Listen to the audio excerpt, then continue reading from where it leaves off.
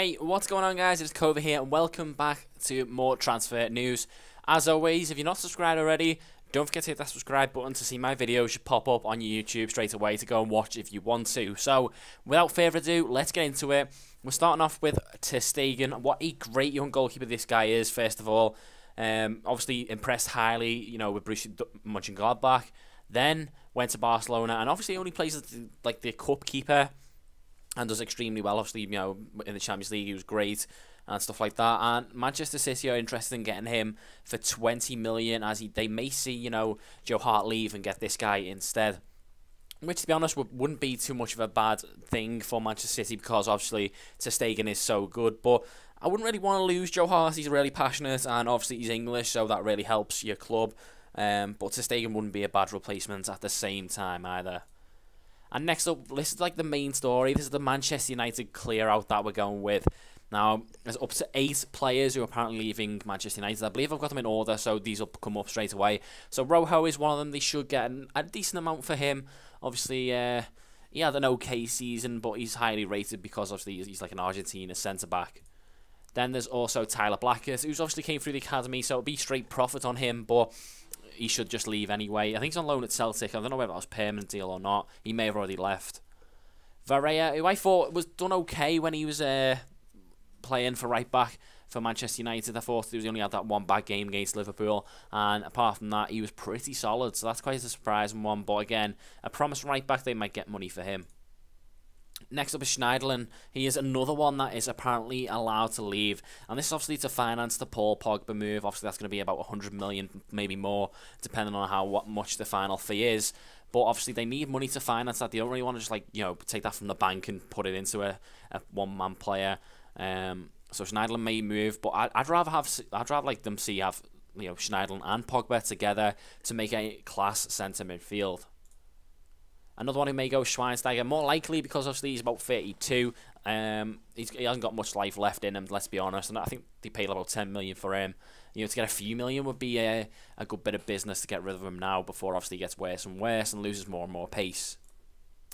Next up is Juan Mata. Now this one's been like, you know, links everywhere. Everton are strong favourites to get him, but the the amount that's required to get him is now being like made available, and that is 20 million is what Manchester United are looking for to uh, to get for Mata. Now I think I don't know if Mata's worth 20 million. He's a bit of a you know on and off player. One game he'd be really good, the next few would be really bad. He's not world class for me, but I think you know a team like Everton, Southampton, Stoke, he would obviously improve a hell of a lot if they can you know splash that cash and get Juan Mata in. Next up is Felipe Anderson. This one's kind of came out of nowhere because he was linked heavily with Manchester United all January and all the start of the summer. But now it's actually Chelsea. Obviously, again, we mentioned the fact that Conte managed in the Serie A, so he knows a lot of the players there. So that means they're going to get linked with a lot of players there. It's just whether or not you know these rumours are actually going to come true or not.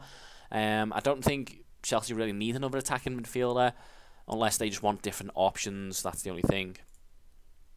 Next up is Isaac Hayden. I just want to include this one because obviously like Newcastle are going through a bit of a transition. They are changing a lot of the squad, and Isaac Hayden is one that they're meant to be going for. They see him as obviously one for the future, trying to grab him from Arsenal. He had a loan spell at New uh, Hull even and wasn't even you know playing that much, but uh, Newcastle see something in him. They're looking to try and get him on the cheap from Arsenal. Next up is Enner Valencia. We mentioned this slightly. He was meant to be going to Lazio. West Ham have actually turned down a ten million pound move from Lazio. They must be looking out to get more, or they either don't want Valencia to go. I'm not sure which one it is. I'm probably trying to get more money.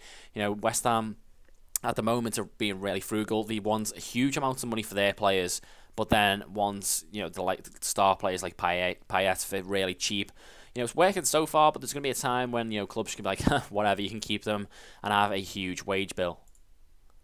Next up is a big one for Middlesbrough. Middlesbrough are going crazy in this transfer market, and uh, apparently it's Negredo this time on loan.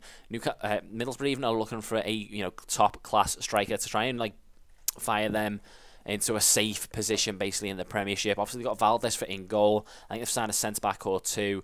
They've got links with Van Persie as well. So, you know, Negredo, I think, would do really well. I, I, I thought he was actually really good for Manchester City. He's a bit unlucky the fact that, obviously, at Manchester City, always going to be behind Aguero. And then, obviously, at the time, Manchester City also had Dzeko and Jovetic. So, Negredo kind of got pushed away, which I think was a bit harsh.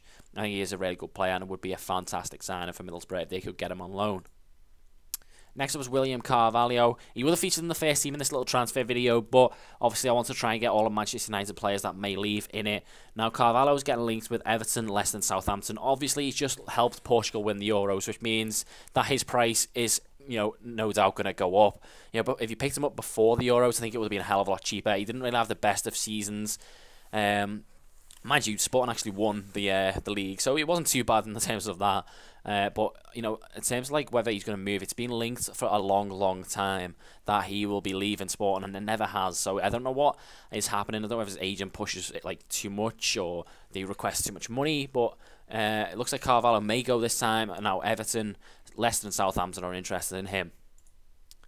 Next up is Hojbjerg. Now Southampton are going to be signing him for 12.8 million. That's a apparent agreed fee, which means you know give it one or two years, and Liverpool sign him for 32. I don't know, but uh, this is a, pretty much a confirmed deal anyway, and that is Hojbjerg going to Southampton from Bayern Munich. Next up is Benteke. Obviously, uh, he's getting linked to West Ham and Crystal Palace but apparently he's agreed personal terms with the Crystal Palace. It's just a matter of the two clubs trying to agree a deal to sell him on. Oh, skip one. And next up is Peres. He is getting linked to obviously to Manchester City. We've mentioned it a few times. His badge is on there. And it'll apparently cost Manchester City to get him £17 million from Torino to, uh, to complete that deal. And finally, we end up on the uh, the strange one, and that is Colin Doyle going to Bradford City from Blackpool. Now, the reason why this one's in here, I don't usually include, you know, the lower leagues, but this one's a strange one because he is going for one pound. Like literally, Bradford City can walk into like the Blackpool chairman's room and just flick a pound at them and be like, Doyle's ours now. That is insane how he's got a one pound uh, release clause. Obviously, that must been something to do with how when he signed, he obviously wanted to, you know, get some football, but obviously leave Blackpool at the same time if he could. And obviously, that's now happening. He uh, he's agreed a deal. He is going for one pound to Bradford City.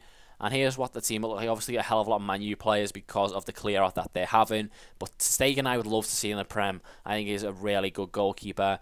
Uh, not so good on FIFA, but in terms of real life, he is fantastic. And obviously, got the bench Carvalho, Hojbjerg coming in, Benteke, big move. Bruno Peres, that'd be great for your squads. But guys, if you did enjoy, all I ask is let's see if we can get 10 likes on this video. I'll be amazed, and I shall basically see you in the next one.